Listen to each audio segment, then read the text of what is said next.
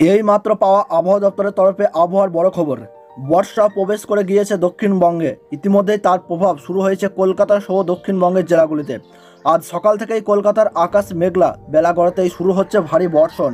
গত শনিবার বহু প্রতীক্ষার পর দক্ষিণ পশ্চিম মৌসুমী বায়ু এসে পৌঁছয় বঙ্গের দক্ষিণ প্রান্তে।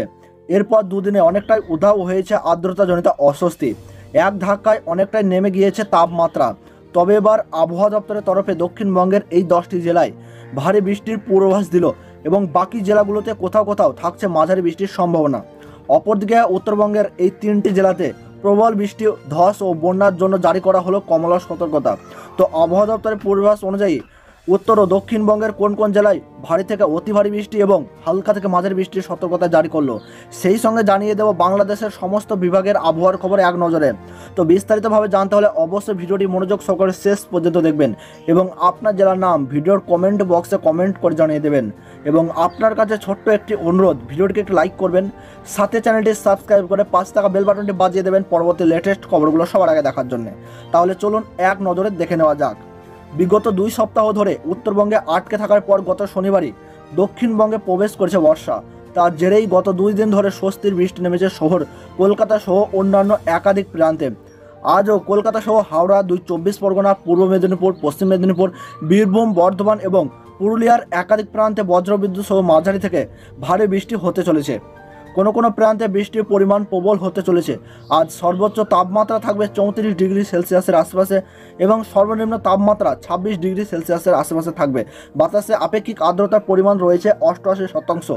গত দুই দিনে দক্ষিণবঙ্গের বিভিন্ন জেলায় বর্ষার প্রভাবে শুরু হয়েছে বৃষ্টি। ঝোড়ো হাওয়ার সাথে বৃষ্টিপাতে ভেসেছে শহরতলি ও তার পার্শ্ববর্তী এলাকা।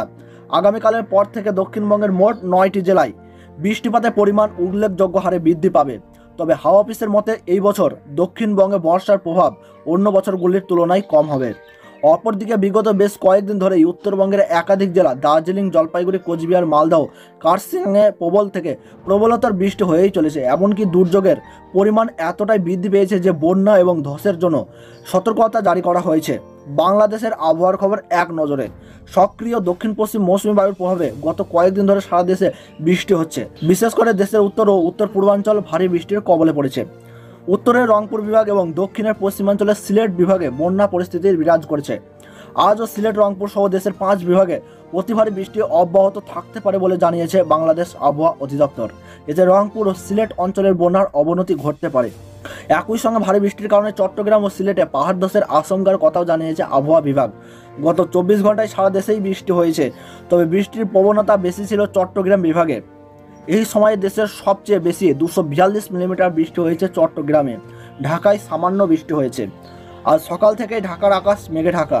সকাল থেকে হালকা বৃষ্টি হচ্ছে। আবহাওয়াবিদ মোহাম্মদ মানোয়ারা হোসেন বলেন, আজ রংপুর, রাজশাহী, ঢাকা, ময়মনসিংহ, খুলনা, বরিশাল, চট্টগ্রাম ও সিলেট বিভাগের অধিকাংশ জায়গায় অস্থায়ীভাবে দমকা হওয়ার সঙ্গে বিজলি চমকানো সহ হালকা থেকে মাঝে ধরনের বৃষ্টি বা বজ্র বৃষ্টি হতে পারে। সেই সঙ্গে রংপুর, ময়মনসিংহ, বরিশাল, চট্টগ্রাম ও সিলেট বিভাগের কোথাও কোথাও মাঝারি ধরনের ভারী থেকে অতি ভারী বৃষ্টি হতে পারে। এ সময় সারা দেশে দিন ও রাত্রে তাপমাত্রা প্রায় অপরিবর্তিত থাকতে পারে বলে জানিয়ে এই আবহাওয়াবিদ বলেন, আগামী তিন দিন বৃষ্টিপাতের প্রবণতা অব্যাহত থাকতে পারে। আজ সন্ধ্যা ছটা পর্যন্ত দেশের অভ্যন্তরীণ নদীবন্দরগুলোর জন্য আবহাওয়ার পূর্বাসে বলা হয়েছে, পাবনা, রংপুর, দিনাজপুর, বগুড়া, টাঙ্গাইল, ময়মনসিংহ, যশোর, কুষ্টিয়া ঢাকা, ফরিদপুর, মাদারীপুর, খুলনা, বরিশাল, পটুয়াখালী, নোয়াখালী, কুমিল্লা, চট্টগ্রাম, কক্সবাজার এবং সিলেট অঞ্চলের উপর দিয়ে দক্ষিণ বা দক্ষিণ পূর্ব দিক থেকে ঘন্টায় পঁয়তাল্লিশ থেকে ষাট কিলোমিটার গতিবেগে অস্থায়ীভাবে দমকা বা ঝোড়ো হাওয়া সহ বৃষ্টি বা বজ্রসহ বৃষ্টি হতে পারে। এইসব এলাকার নদীবন্দরগুলোকে এক নম্বর সতর্কতা সংকেত দেখাতে বলা হয়েছে।